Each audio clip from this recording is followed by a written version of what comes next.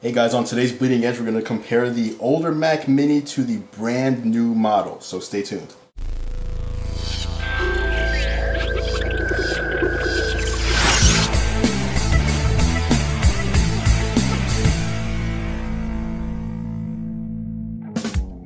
Hey guys, welcome to Bleeding Edge TV. I'm Andru Edwards. This is the show that brings you tech news through the eyes of GearLive.com, and today we're just going to give you a quick comparison between the original Mac Mini, and this is basically the design they've been using for a few years now, versus the finally redesigned version. So let's just jump right in. So before we get into the comparison, we just want to thank our sponsor GoToMeeting. If you have any need to display your computer screen on someone else's monitor or vice versa, or have a virtual meeting without bringing people from all over the world, all over the country, all over the city even, GoToMeeting is your answer. You can get a 30-day free trial Try them out at GoToMeeting forward slash tech podcast to get yours.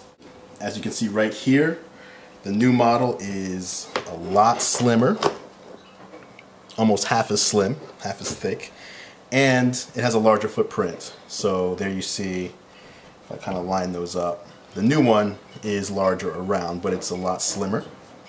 Um, it's all one piece. It's unibody, as Apple's been doing, so it's this, this whole one piece of aluminum here.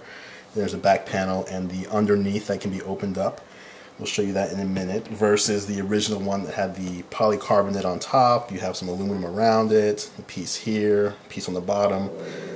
Um, interesting thing about the bottom is that on this the old one you had to get a little spatula, a really thin one, and kind of get in between the white there and kind of pry it open if you wanted to get inside. It's very difficult, very frustrating. But the new one, as you can see here, Mac Mini, you just put your fingers in these two slots, turn it, use some thumbs, those are stronger. Turn it and it just pulls right off.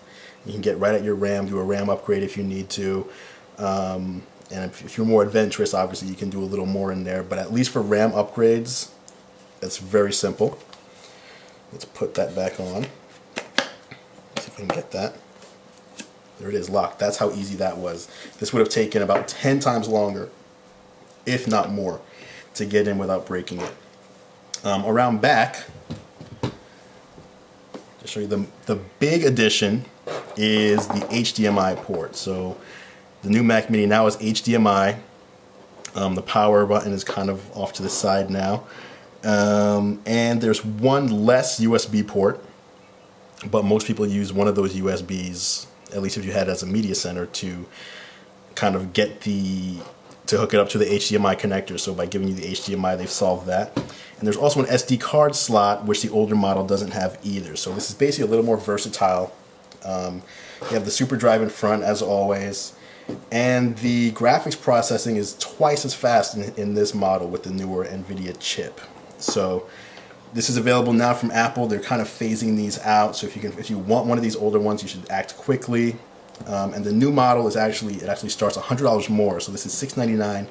This one started at 599. But there's a little more power packed into here. So um, we're kind of interested to see where they're going with it, especially now with the HDMI cable, because only reason they'd add one in there is to give you something to use as a media center. So we're kind of curious where they're going to go with this versus the Apple TV.